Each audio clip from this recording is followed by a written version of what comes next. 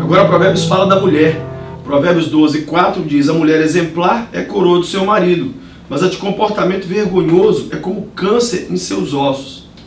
Olha, muito homem hoje, e mulher, é claro, tem pensado em ficar sozinho, porque quando se aproxima de alguém, descobre que essa pessoa tem um comportamento vergonhoso.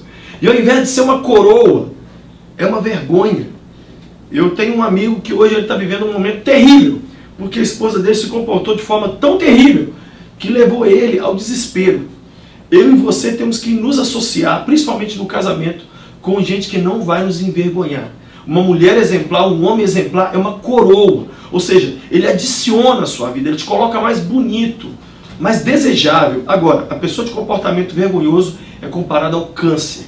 Que a gente não seja câncer para ninguém, mas coroa. Que o Senhor te abençoe e seja louco por Jesus.